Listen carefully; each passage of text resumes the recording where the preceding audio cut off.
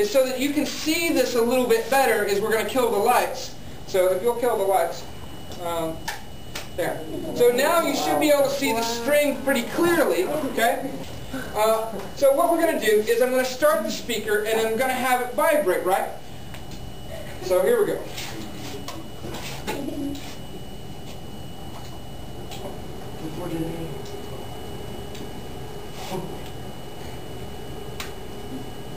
Now, let me show you one thing that's relatively interesting.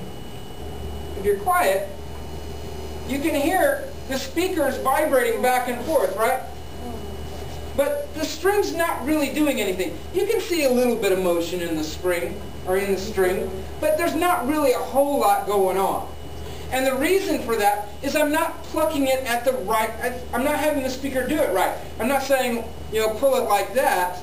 I'm having it just hit it all the time, right? And so it doesn't get a chance to wave back and forth. It keeps getting disturbed. And so a standing wave pattern only forms at certain frequencies. What was what, what did the word frequency mean? Uh, how often? Okay, it's, it's how often it vibrates back and forth, right? The frequency tells me how fast it's vibrating back and forth. Okay, so what I'm going to do is I'm going to make it vibrate it back and forth at certain frequencies. So I'm going to take this and I'm going to turn it down a little bit. Alright, so now I'm shaking it, but I'm still not shaking it at the right frequency. So what I'm going to do is I'm going to look far, and I'm going to play with the little dial to where this thing forms a nice little wave pattern. Okay, so I'm going to change the frequency. And if I get the frequency just right, then I get this weird thing, this weird shape form, okay? Where I get this fat part there and a little little thingy there and a big fat thingy there, right? Now those aren't those aren't science terms; those are you know my terms. And so uh, what I'm going to do is I'll give you the actual science names, right? So so when a wave crosses over the resting position, like the spot where there when there was no energy, right? When it's laying down, when the wave crosses that, what was that called? It starts with an N. A node, right? A node. So nothing's going on at the node. So nothing happening at the node. In fact, I can pick it up and it won't even mess up the wave. I can just play with it, right? So nothing happens at the node, and then I got this spot over here, which is like the opposite of a node, right? Here I got nothing going on, and here that's where all the action's happening. And so this is like the opposite. So instead of calling it a node, we call this an antinode, okay? An antinode. So we have an antinode, a node, and then over here I have another antinode, okay? This is what's known as the uh, second harmonic, okay, for the, all the, you know, like music type people, okay? It's also known as the first, first overtone. Uh, and the reason why it's called that is because we have two of these antinodes, right? And what's really going on is I have a wave, and the speaker makes a little crest form, right? It pushes up on, on, the, on the string, and the string goes up, right? So it forms a crest, it goes up, and then it comes down at the node, and then it bounces underneath, and it makes a trough. And then it hits the other side, and just like an echo, like when I, you know, if I scream real loud and I'm in the Alps, like on a Ricola commercial or something, then a couple of minutes later it comes back and, hey, hey, you know, so I got that thing going on. So here it bounces, and then it bounces back, right? But when it bounces back, it flips over, right? Remember how I did the traveling wave, and when it got to the end, it flipped over? Well, same thing here. It goes down, hits this, flips over, comes back, and so now it forms a crest and then a trough. And so what you really have, even though it looks like this wave's not going anywhere, is you have lots of waves going this way, and you got lots of waves coming back this way, and it's happening just right to where the crests and the troughs always occur in the same spot. So what I really have is the distance from this speaker all the way down to this post. This is exactly one wavelength. Okay? So if the frequency makes it to where the wavelength is exactly the distance between these two things, then a standing waveform appears. Okay? Now, this is what's called the second harmonic, okay? Well, there is a first harmonic. A first harmonic is got half the frequency of this. Okay, half the frequency of this. Could you turn the light on for just a moment? So y'all got an equation yesterday, or you may have got an equation yesterday, Uh, and if I were a marker therapy, okay, and you got an equation yesterday, and the equation said that the velocity of a wave is equal to the wavelength of the wave, that's wavelength, it's a weird symbol, but it that means wavelength, times the frequency of a wave.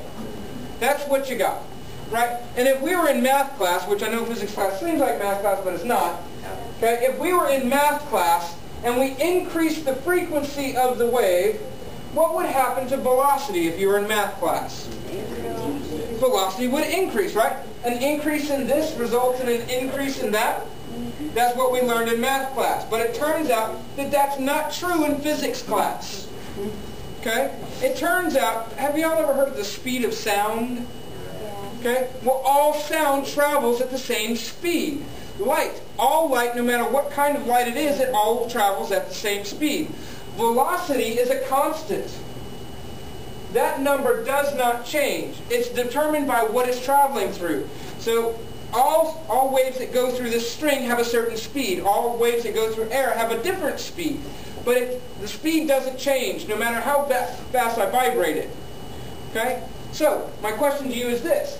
If frequency increases, what has to happen if velocity doesn't change? Wavelength has to decrease. So let me show you that. To prove that when frequency increases, wavelength decreases, velocity does not change. Did you hit the lights? All right, so now we're here at the second harmonic, okay, first overtone. And what I'm going to do is I'm going to take the frequency and I'm going to cut it in half. I'm going to make it smaller. So if I make the frequency smaller, what happens to the wavelengths?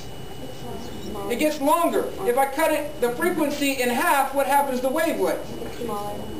No? If frequency goes down, wavelength goes up. So if I cut the frequency in half, what happens to wavelength? It's got to double. It gets twice as long, right? And so what happens is I end up with one crest that goes from this end all the way to that end. Okay? Because it's half a wavelength. If this is one half wavelength, or I'm sorry, if this is one wavelength, if I double the wavelength, then it's going to half of the wave is going to fit between that post. So the frequency right now is a little bit less than 11. So I'm going to make it a little bit more than 5-ish.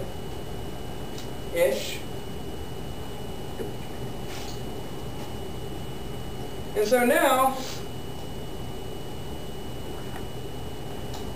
now it looks like I'm plucking a guitar, right? I'm just pulling on it and it bounces back and forth because guitars operate at their fundamental frequency. They also have some other frequencies that are going on, but basically they vibrate back and forth just like that. And if I want to change the note that I'm playing, then I have to change the length of the string. And if I change the length of the string, I change the frequency at which this thing vibrates back and forth. And so when you change chords, that's what you're doing. Okay? So I have the standing wave pattern form, and so I know that if I decrease my frequency, then my wavelength increases. So what happens if I increase my frequency? I decrease my wavelength, so more waves fit on the string. And so I'm going to double it. Now notice, I'm doing things like I'm multiplying times 2, or if I multiply times 4. So if I multiply, okay, this fundamental frequency, so I have this frequency, it's about 5-ish, okay, about 11. So if I double that, then I should be able to fit more, right? But if I do it by 3, if I multiply times 3, it turns out that I get an odd multiple, and that's okay. So let's see here. Help me out because it's like seventh period. So it's uh, five and a half times three is what? Sixteen and a half? Yeah. Good, thank you. All right. So let's go to about 16 and a half-ish. Oh, wow. cool. And so by changing the frequency by an odd multiple, I end up with an odd number of antinodes.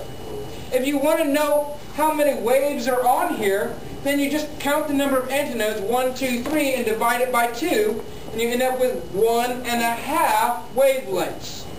Okay, so I have one and a half wavelengths on that string right now.